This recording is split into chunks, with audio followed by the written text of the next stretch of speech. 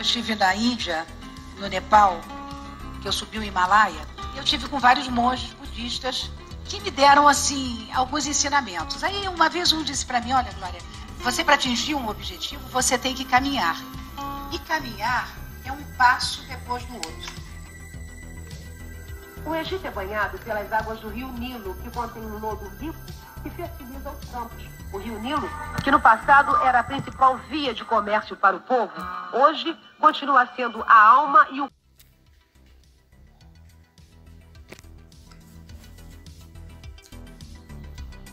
Ela que fez inúmeras entrevistas com famosos como Mick Jagger, Fred Flintstone, Michael Jackson, Madonna e muitos outros. Glória Maria, essa é a nossa história de hoje. Ela que disse que segurar o microfone tem que ser com delicadeza porque o microfone é a fonte de inspiração de quem sabe trabalhar com comunicação. Ela disse a seguinte frase: O, o extraordinário é que no jornalismo te dá a capacidade e o entendimento de conviver com vários povos, de várias etnias e de viver diretamente várias emoções, sejam elas boas ou ruins.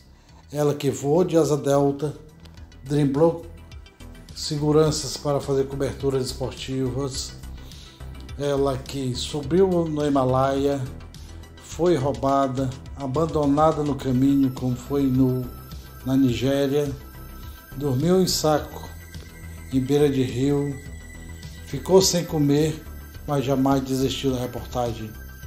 Essa é a história de Glória Maria que contaremos em seguida.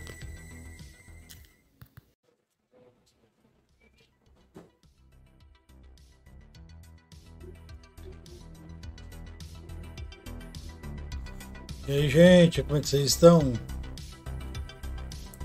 Negra, como ela gosta de ser reconhecida, etnia afro-brasileira, idade, ela não gosta de dizer a idade, como ela falou lá no podcast Mano a Mano do Mano Brown, que de 80 para cá dá para dizer, mas até 80 ela mesmo diz que não gosta muito que diga.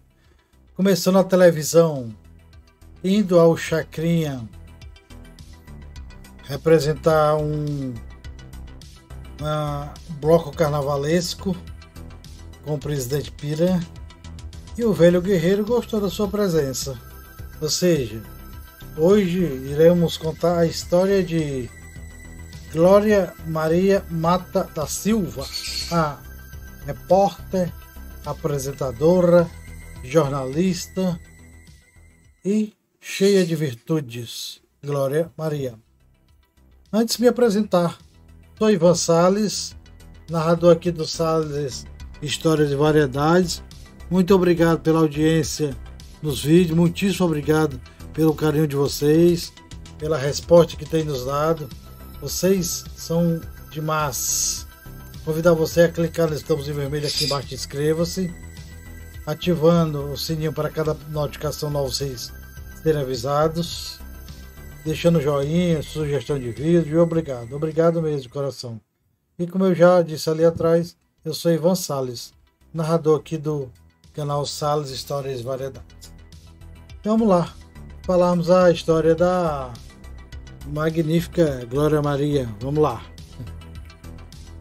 Glória Maria Mata da Silva, que nasceu em 20 em 15 de agosto de 1949, 72 anos. E começou no começou na TV ainda muito nova, aos 22 anos, é isso que eu queria falar. Ela que era filha de um alfaiate e de uma dona de casa. Ela nasceu na zona norte do Rio de Janeiro, na Vila Isabel, ou seja, tinha tudo para não gostar de carnaval, né? Tinha tudo para gostar de carnaval, ser carnavalesca como foi, como foi princesa do bloco de carnaval. Ela nasceu no Rio de Janeiro, então Distrito Federal, onde era, onde era sede do governo federal. Ela nasceu no Brasil, né, como de aqui nacionalidade. Ela afro afro-brasileira. Ela que tem um metro e 68 de altura. Ocupação: jornalista, apresentadora, repórter. Ela que ganhou vários prêmios. Em 2012, ela ganhou o prêmio Raça Negra. Terceiro ano, é, 2013, o terceiro prêmio. Ela também viajou para mais de 100 países. É possível que ela tenha viajado para cerca de 160 países. Ela cobriu a Guerra das Malvinas em 1982, que era a guerra do Brasil, do Brasil não, a guerra da Argentina contra a Inglaterra pelas Ilhas Malvinas. Ela foi rádio escuta da Rede Globo, levada por um amigo jornalista, e apresentou-se no programa do Caixinha, no programa do Chacrinha, Cassino Chacrinha. Depois da apresentação conseguiu um estágio, já que tinha concluído a, o curso superior, depois de fazer a faculdade na Faculdade Ponte Fontíssima do Rio de Janeiro. É, a, primeiro, a primeira grande matéria que ela fez Olha só como o destino reservava para ela muita coisa. Ela foi a primeira em muitas coisas. 20 de novembro de 1971, que hoje é considerado dia, considerado não, é dia da consciência negra, é até feriado em várias cidades do Brasil. Em 20 de novembro de 1971, ela fez a sua primeira reportagem, é, cobrindo a, o, a queda do elevado Paulo de Frontin, que deixou muita devastação.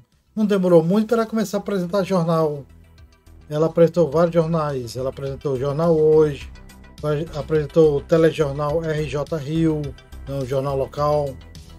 Ela apresentou de 1998 a, 2000 só, a 2007 o fantástico Ancora e pediu a licença de dois anos para se dedicar a missões de ajuda, né? missões humanitárias, como ela mesma disse, onde ela encontrou suas duas filhas em junho de 2009.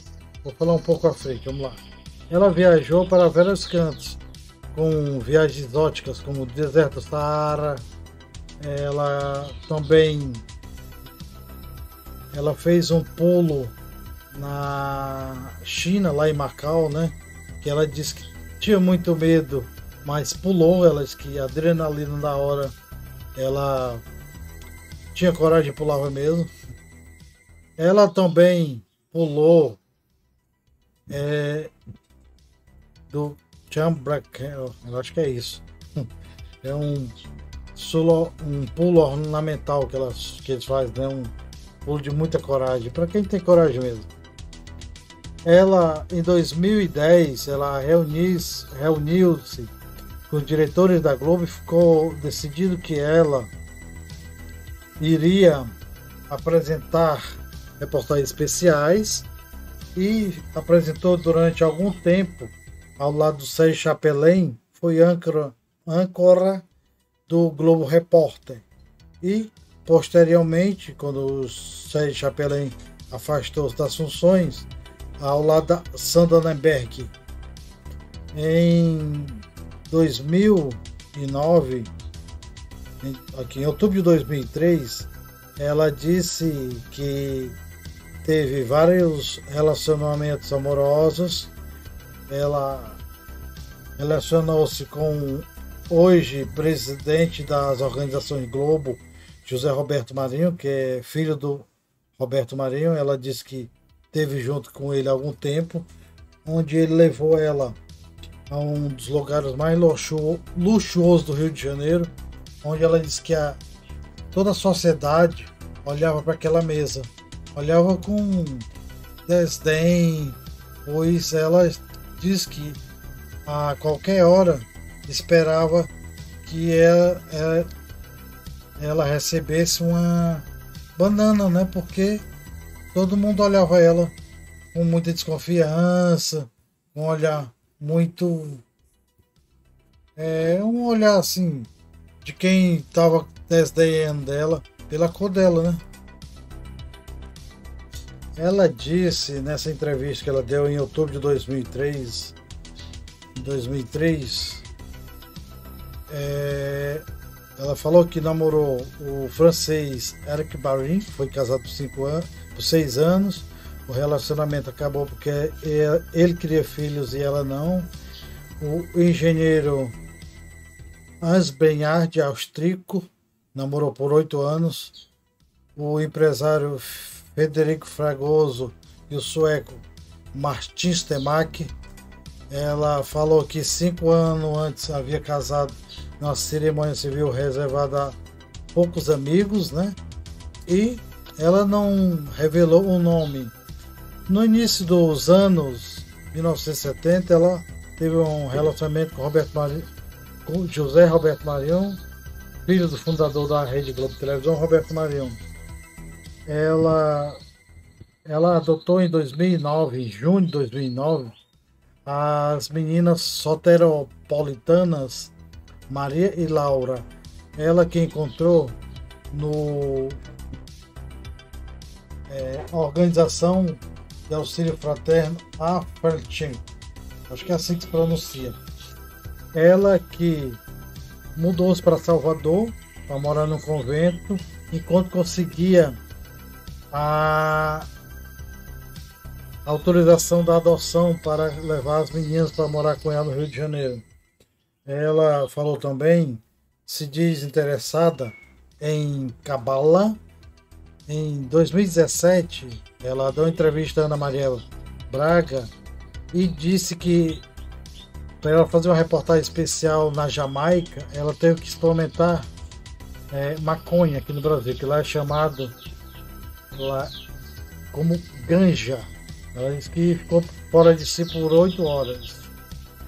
Em novembro de 2019, ela passou por uma cirurgia para retirar um grande tumor cerebral que meses depois viria a confirmação ser um tumor maligno. Ser um tumor maligno. Em, no sábado de carnaval de 2020, ela perdeu a mãe. Ela perdeu a mãe. E ela disse, se não fosse as filhas, ela jamais teria superado esse momento muito difícil. Ela revelou também que é, a, não disse sobre a doença mãe dela. A mãe dela sentiu-se mal no sábado de carnaval, enquanto eles levavam ela para o hospital, né, para ver a insuficiência cardíaca, ela morreu no trajeto de casa até o hospital. Então, essa é a história da jornalista, repórter e apresentadora Glória Maria, Glória Maria Mata Silva. Obrigado a você por gostar do nosso trabalho. Um abraço a todos, bem no coração de cada um. Em seguida, vou deixar alguns trechos de reportagens com a voz dela. Um abraço a todos e muito obrigado mais uma vez pela audiência.